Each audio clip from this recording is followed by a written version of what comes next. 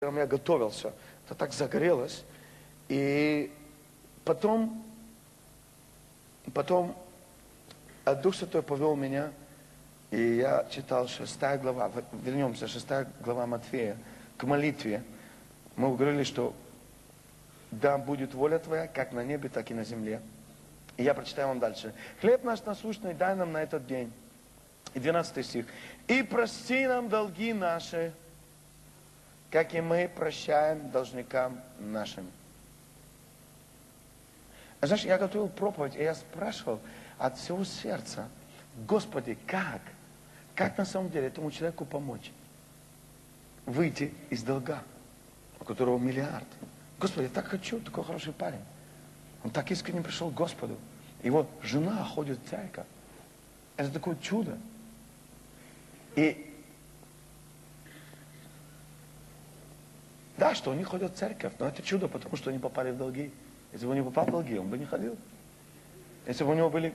Но как помочь выйти? И это была моя молитва. И тогда я как бы чувствовал в своем духе, знаешь, а, Бог двигался в этом. И он говорит, я читал э, Матфея 6 главу и 12 стих. «И прости нам долги наши, как и мы прощаем должникам нашим. И прости нам долги наши, как и мы прощаем должникам нашим. Это знаешь, а на вот этом месте, когда я начал читать, и Дух Божий начал говорить ко мне, и у меня пропал сон. И я эту, эту, эту ночь не спал. Но зато в воскресенье я очень хорошо проповедовал потом. А потому что а был нюанс. Это так как взорвалось. Ведь смотри, первый аспект, э, путь, и как получить прощение. Тут написано, и прости нам долги наши, как и мы прощаем. И вдруг такой вопрос пришел ко мне. Он спросил меня, а ты прощаешь? Первый он спросил с меня, он начал с меня. А ты простил когда-то кого-то? И я говорю, я там простил. А у меня как раз э, было два Э, две, два аспекта. Один в церкви и один лично. Э, так случилось, что э, я даже не, не занимал. Но один человек пришел, такой хороший человек, очень интеллигентный человек, такой близкий к нам, пришел и попросил на несколько дней где-то найти 20 тысяч долларов. У нас не было. Я просто попросил своего администратора, говорю, может, ты знаешь кого-то. И мой администратор такой быстрый был и нашел. Буквально такой раз это невозможно. Он нашел за, за день, за два нашел 20 тысяч долларов и дал тому человеку. И те, которые заняли, они сказали, если вы ручаетесь за него, Библия говорит, ненавидьте ручательство. И я всегда всем проповедовал, никогда ни за кого, и говорил, не ручайтесь. И тут я чувствовал в своем духе, что не надо, и как-то была такая ситуация. Я сказал, ну, ну хорошо. Я даже не думал, что тут может не отдать. И тот, кому заняли этих 20 тысяч долларов, вдруг пропал. И у того, которого заняли, он пришел к нам, сказал, вы поручили за него, давайте 20 тысяч. И потом там, знаешь, как это у нас есть, всякие счетчики, там натикало уже 24. И я чувствовал, и они сказали, ну ты же дал свое имя. Ты знаешь, такой вопрос был для меня, вау.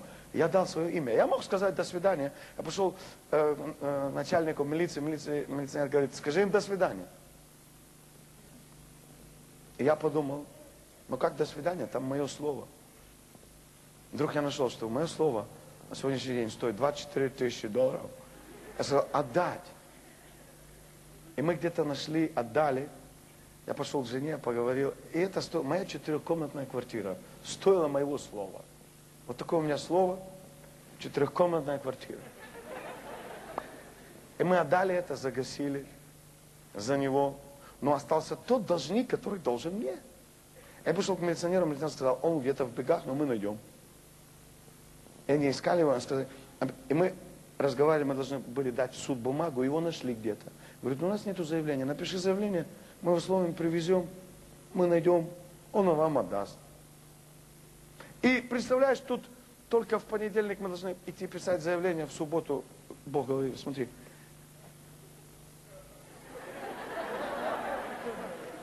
И прости нам долги наши, как и мы прощаем должники, должникам нашим. Я сказал, Бог, что ты хочешь этим сказать?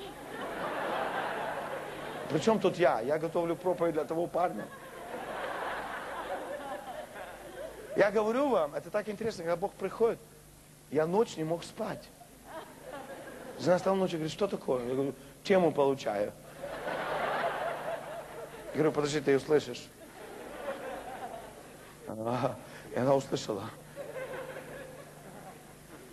И, и знаешь, если бы в конце концов я надоело, говорю, Бог, что ты хочешь? И знаешь, так мне сказал, а почему бы, говорит, тебе его не простить? Я говорю, ты что, хочешь меня Александра Матросова сделать?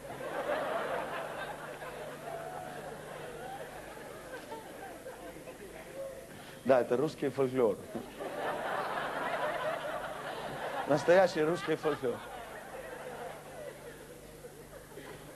Ну зачем так на танк кидать? Я рассчитывал, Господи, ты что? И так, знаешь, там место звучало. И прощайте должникам нашим. И прости нам долги наши, как и мы прощаем должникам. Вау! Слушай, хорошо, за тысячу долларов простить кому-то, ну нормально. Ну 24. И это еще было не все.